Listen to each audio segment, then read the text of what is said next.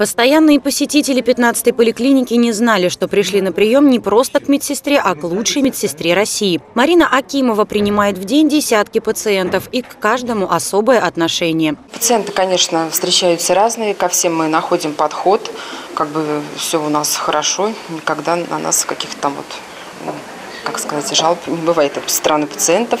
Все, мы всегда хорошо с ними разговариваем, хорошо доктор назначает лечение, мы все процедуры выходим, выполняем. Для своих пациентов Марина Акимова давно самая лучшая медсестра. Люди, говорят, приходят к ней как к родной. За 17 лет работы в поликлинике Марина Павловна, можно сказать, вырастила уже не одно поколение. Марина Павловна участковая медсестра. Я очень часто получаю от нее приглашения различные на профилактические какие-то обследования, флюорографию и так далее. Вот, ну и вообще, в частности, очень так следит не только, наверное, за моей семьей, а вообще, в частности, за многими. Это очень такой замечательный, прекрасный человек. Все самые лучшие качества в ней заложено.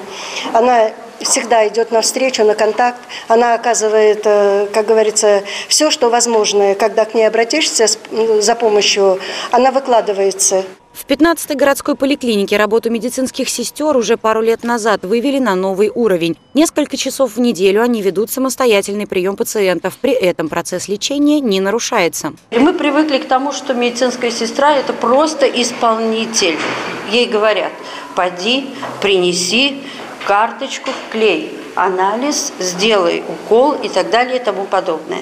На самом деле уровень подготовки позволяет чтобы медсестра могла делать какие-то манипуляции, организовать вполне самостоятельно определенные направления деятельности. Марина Акимова – одна из нескольких лауреатов Всероссийского конкурса. Самарская область оказалась богата на медицинские кадры. Первые места заняли также врач-патологоанатом из больницы Пирогова Татьяна Ларина и психиатр-нарколог из Сызранского наркологического диспансера Людмила Лесина. Серебро среди докторов досталось врачу-нефрологу из больницы Середавина Виктору Баринову. Третье также больницы Пирогова, врачу функциональной диагностики Ирине Колесник. Мариана Мирная, Сергей Баскин. События.